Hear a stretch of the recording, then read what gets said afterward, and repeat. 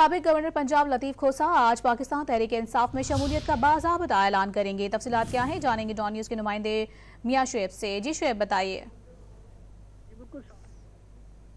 लतीफ खोसा आज तहरीक इंसाफ में शमूलियत का बाबा ऐलान करेंगे। सरदार लतीफ खोसा खानदान के अफराद और खोसा बरदरी के सरकर्दा रहनुमाओं के साथ पी टी आई में शमूलियत इख्तियार करेंगे और आज दो बजे सरदार लतीफ खोसा अपनी रहायशगाह पर प्रेस कॉन्फ्रेंस में पी टी पीटीआई में शमूलियत का ऐलान करेंगे। इस हवाले से हमारी सरदार लतीफ खोसा से बात हुई, उनका कहना था कि सबक चेयरमैन पीटीआई की ख्वाहिश पर आज तहरीक इंसाफ में शमूलियत अख्तियार कर रहा हूँ। इस मौका पर उन्होंने ये भी कहा कि सिर्फ़ मुल्क और जमहूरियत के मफाद के लिए ये फैसला किया है, मैं सच के साथ खड़ा हूँ और सच की आवाज़ को ज़्यादा देर जो है वो ज़्यादा शिद्दत से बुलंद करने के लिए मैंने पीटीआई में शमूलियत का ये फैसला किया है। जी।